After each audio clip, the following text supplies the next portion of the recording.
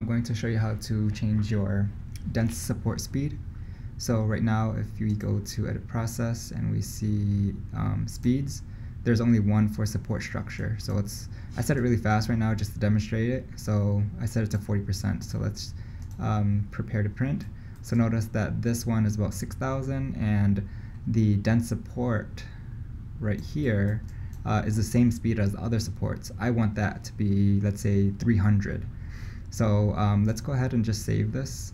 Um, so sphere.gcode.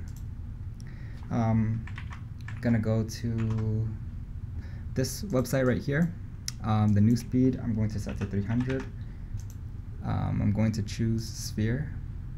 And after that, it's going to download um, sphere-modded.gcode. So now we can actually look at the um, uh, the preview, and we can see that the dense supports is uh, 300.